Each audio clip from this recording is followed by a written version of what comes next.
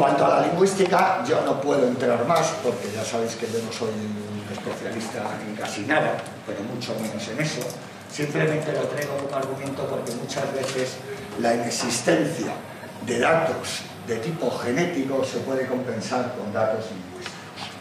Pero la verdad es que con el tiempo pues cada vez se van acumulando más conocimientos de la genética de las poblaciones actuales en el mundo y dentro de eso son muy relevantes los estudios sobre el ADN mitocondrial. El ADN mitocondrial es un buen modelo para estudiar la movilidad de las poblaciones por varias cuestiones, porque se supone que no está sometido a una presión de selección y su tasa de cambios, su tasa de mutaciones, pues va a reflejar una distancia entre grupos humanos más o menos eh, objetiva. Dentro de esto es interesante que hablemos de esos dos conceptos que hay ahí, el concepto de haplotipo y haplogrupo, teniendo al haplotipo como las mutaciones, el conjunto de cambios, el conjunto de mutaciones que caracterizan a un individuo, y como haplogrupo a conjuntos grandes de haplotipos que se suponen cercanos filogenéticamente porque tienen características comunes.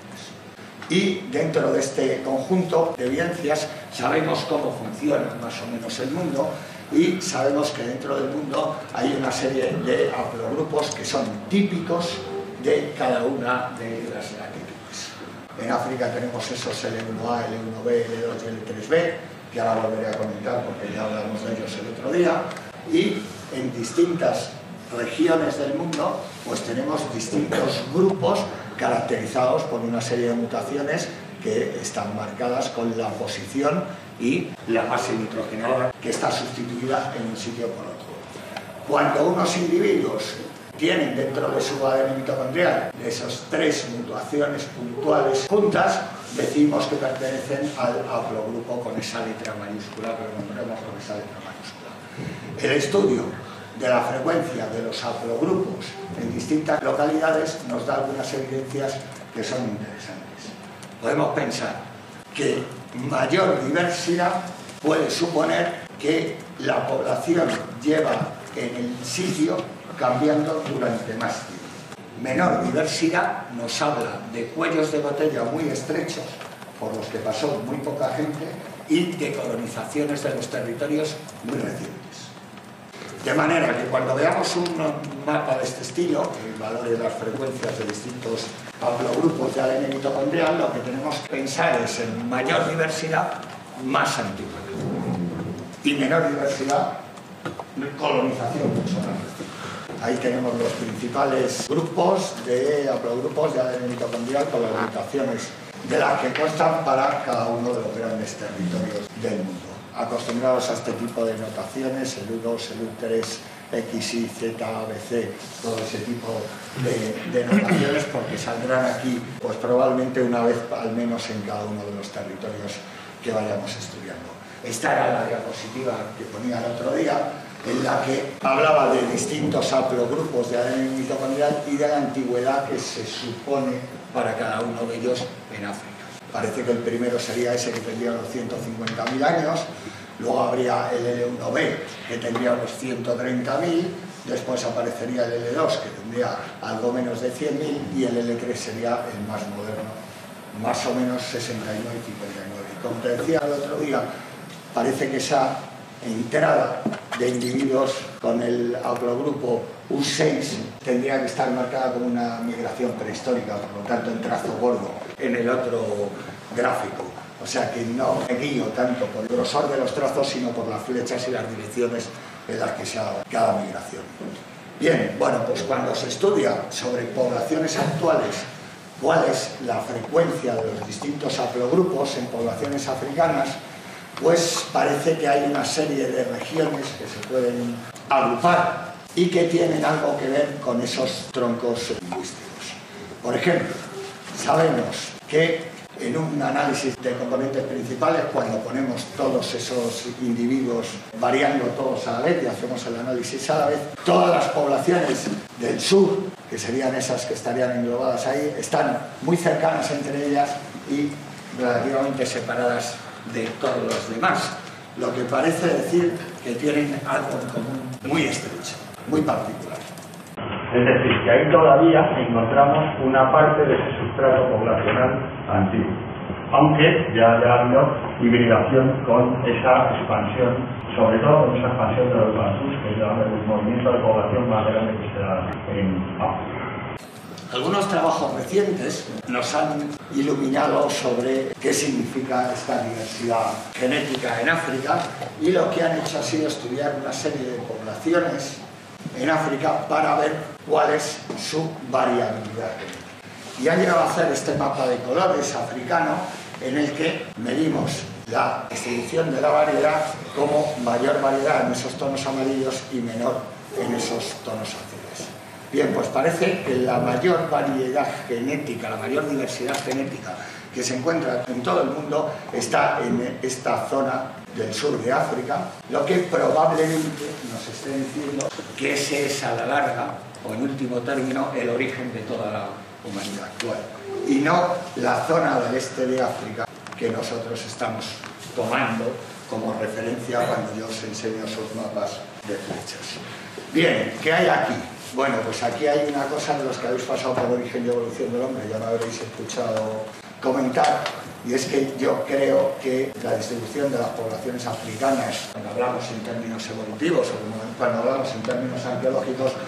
no solo tiene que ver con la distribución de los propios yacimientos, sino también con la distribución de las actividades de búsqueda que se hacen en África. Y en África Central hay algunos países en los que no ha sido muy fácil trabajar no ha sido muy fácil trabajar pues, porque hay guerras continuas, porque hay conflictos continuos, porque hay países que están sembrados de campos de minas y evidentemente pues, no son los preferidos para la actividad de la arqueología, si lo queremos llamar así, en sentido amplio. Así que eso que yo coloco generalmente en el este de África puede que no esté justamente ahí, en el este de África, y sea un fenómeno más relativo a toda esta región más amarillenta que es la que manifiesta tener un mayor grado de diversidad. Cuando os hablaba antes de que en Asia volveremos a hablar de los pigmeos, volveremos a hablar de los pigmeos porque en Asia encontraremos unas poblaciones que probablemente estén relacionadas con este grupo de poblaciones altamente diversas que hay en África. Lo que pasa es que al separarse de ahí han pasado un cuello de botella y nosotros ahora ya no las encontramos tan diversas. Cuando nosotros miramos en esas capas sedimentarias que os explicaba antes, hay lugares en que la capa de sedimento que ha llegado encima ha sido tan espesa que ha tapado las irregularidades de debajo, aunque nuestra hipótesis sea que todavía, mirando poblaciones actuales, nosotros podemos acceder a esa información de fondo que hay. Es probable que dentro de 20 o 30 años eh, yo no pueda contar esto así, porque el movimiento de las poblaciones humanas es de actualidad, haya podido tapar por completo cualquier tipo de diferencia que nosotros queramos buscar en el origen. Hoy las poblaciones humanas somos muy móviles, más móviles de lo que lo hemos sido nunca en la historia biológica de los humanos. De manera que cualquier diferencia que haya podido generarse a base de cientos y miles de años de diferenciación, de aislamiento genético, de migraciones, ahora se esté borrando simplemente por el efecto de la posibilidad de coger un avión y trasladarse miles de kilómetros en un solo día y de cambiar de lugar de residencia o de lugar de matrimonio o romper barreras. En el fondo es el hecho de romper barreras reproductivas que antes en términos naturales sí han estado muy bien establecidas, pero que ahora realmente no constituyen ese concepto de barrera que podríamos tomar nosotros. Bien, Decía que tenía que hablar un poco de Sudáfrica,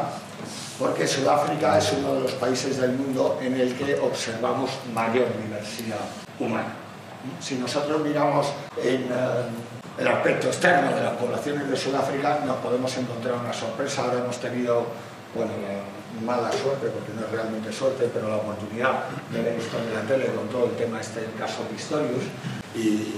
quien quiera puede ver que en África hay un Pistorius que es surafricano, pero también hay una Casper Semenya que es sudafricana, que también es atleta, y sin embargo, pues son dos personas que nada tienen que ver con la otra. Bien.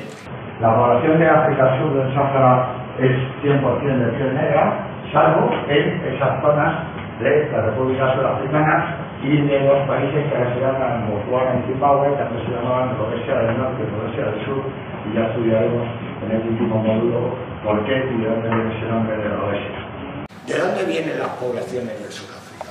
Bueno, pues para plantearnos de dónde vienen las poblaciones de Sudáfrica tendríamos que hacer un resumen de lo que hemos visto hasta ahora y tendríamos que decir que a Sudáfrica, en principio, lo primero que hay es una población de base que sería fundamentalmente la que tendría que ver con aquellos grupos originarios croisanios que, insisto, probablemente sean los originales humanos, los humanos más antiguos de todo el planeta y probablemente la lengua o alguna de las lenguas que usaran aquellos individuos antiguos tendría ese sistema de chasquidos y de sonidos con la lengua que no soy incapaz de reproducir que caracterizan a todo ese núcleo de lenguas coisanas. Sobre esas poblaciones coisán, la primera gran migración sería la migración bantú, que es esa que llevaba en dos impulsos, uno por la costa atlántica y otro más por la costa del Índico, a población desde la zona de Camerún y Nigeria, en África Central, hacia África del Sur. Primera capa sedimentaria que caería encima de los coisanos. La segunda sería la migración europea. La migración europea, en mi opinión, tiene que ver, y vuelvo a un tema de los que tratamos la semana pasada, tiene que ver en parte con, con la revolución industrial y con el impulso de población que puede ir aparejado a ese cambio de manera de interaccionar con el medio que, insisto, está asociado, sin saber si es antes o luego la gallina, pero está asociado con un aumento de población. Y la última gran avalancha o la última gran migración de población que llega a África del Sur es una población mucho más reciente y viene del sudeste asiático, del conjunto de islas del sudeste asiático y, bueno, pues podríamos definirlo como el tronco o origen indomalario. Las poblaciones de Madagascar ahora mismo son una especie de mezcla entre sudasiáticos y sudafricanos. Pero realmente tienen una lengua que les emparenta con las islas del sudeste asiático y tienen características de esa población indomalaya que es la última que migra. Como es la última que migra, es la que queda en la superficie. Por lo tanto, en ese sistema sedimentario que yo decía, se van formando las capas poblacionales según va habiendo migraciones, la que vemos más evidentemente es la última, la indomalaya. La que vemos más lejos, el sustrato poblacional digital de los paisajes. Esa es la que queda. ¿De acuerdo? Eso lo que hace es que la población de Sudáfrica actual sea un crisol de colores de piel, de formas, de, de diversidad muy grande, pero algunos sabréis qué es lo que ha significado eso a la larga, ¿no? En el país que llamamos República Sudafricana. No le suena a nadie algún tipo de conflicto poblacional que se haya producido en tiempos recientes en África del Sur. Bueno, eso que llamamos fenómeno de la apartheid, que estudiaremos un poco con más detalle en qué consiste en el módulo correspondiente, en la última parte. Pero lo llamativo es que cuando estudiemos fenómenos de ese estilo, tendremos que ver que lo que hay detrás de que se pueda producir algo así es una historia biológica. Y es una historia de migraciones de distintas poblaciones que unen en un determinado territorio a grupos de diversas procedencias y con diversos intereses y en ese momento que se unen esos grupos es cuando empiezan a aparecer ese tipo de problemas tan llamativos. Bueno, pues hasta aquí lo que os quería contar hoy. Hoy no me estiro ni un minuto más y mañana acabaremos con la población africana actual, haremos un pequeño análisis de la población africana actual. ¿de acuerdo? Venga, pues hasta mañana.